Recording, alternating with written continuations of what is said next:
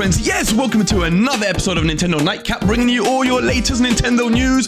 Three huge stories to tell you about because we got to talk about Phil Spencer, the Xbox boss, talking about Call of Duty on Nintendo platforms. We're going to get into that. Then Analogue 3D are releasing their own 4K N64. We're going to get into that. And then, my good friends, take your wands out. Yes, because Hogwarts Legacy has been revealed and dated for the Switch. We're going to get into that also. But before we do, if you like the content, you like what you see, why not consider hitting that like, subscribe, and that bell helps us out. And then get a chair right there and sit with us as we get into today's first story, which is, of course, Analogue 3D releasing their very own 4K N64 console. Yes, this is exciting news indeed. It comes from Analogue, who are famous for recreating retro consoles with their modern hardware, and now they have turned their attention to the N64, which many said was impossible due to how difficult it is to emulate the N64 games in the first place.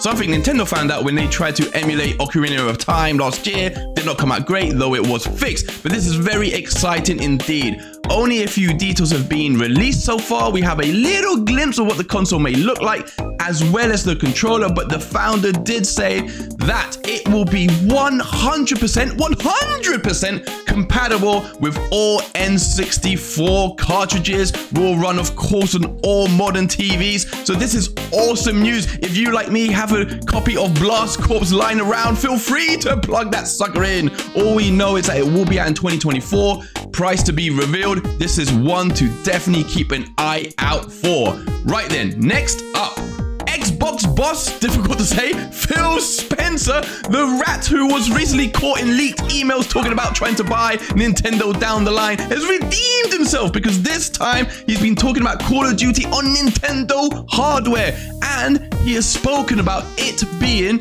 100% parity with other versions of the game. He mentioned this in an Xbox podcast and he had very interesting things to say about the version on Nintendo consoles and how it would go. This is what he had to say about it. I don't want you to feel like there's content you're missing out, there's skins you're missing out, there's timing that you're missing out on. That's not the goal. He continues. The goal is 100% parity across all platforms as much as we can for launching content. I say as much as we can on parity because clearly some platforms have resolution and frame rate differences just based on perf, but there's nothing else. We have no goal of somehow trying to use Call of Duty to get you to buy an Xbox console. I don't believe that, but nonetheless, let's continue. He says, We've been on the other side of some of those skins and times. Even this beta wasn't on Xbox in the first week. I just don't think that helps the community. I don't think that helps the game. So the focus, if you're a PlayStation player, a Nintendo Switch player, he says Nintendo player, a PC player, or an Xbox console player, I want you to feel 100% part of the Call of Duty nation. There you go, amazing news from the big boss of Xbox. Not only are we getting Call of Duty back on Nintendo consoles in the future, but the fact that they're going to be aiming for 100% parity across all versions is incredible news for Nintendo fans going forward. It means a few things. One, the fact that we're getting big games like this in the first place is awesome, but that they might come to Nintendo consoles day and date with the other versions and hopefully they're going to be much closer in visual fidelity as well as performance. This is of course hinting at all the rumors talking about the Switch 2 using DLSS to achieve and bridge that gap with the newer generation of consoles. So this is very, very exciting. Despite what you may think about Call of Duty, it is still a huge draw and really big news it coming back to Nintendo.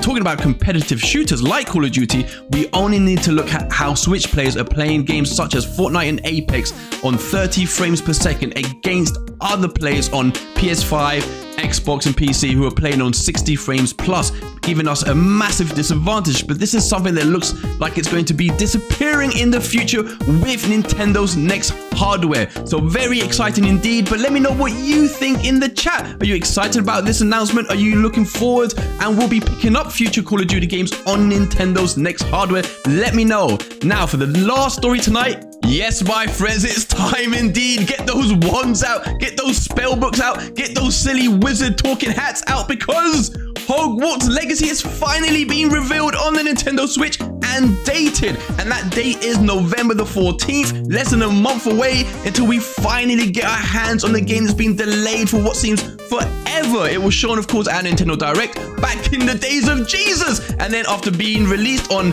Xbox, PS4, PS5, PC, everything to huge reviews, amazingly high reviews. Everyone's been enjoying it. We finally have it here. Nintendo has revealed this on their official Twitter page with some screenshots in the eShop that you can look at here. And I think they look a lot better than what some might have hoped or expected. They look very clean indeed. Now, we have not got any running footage yet, so this has led some to believe, or not to believe, to be skeptical of the performance the game will have.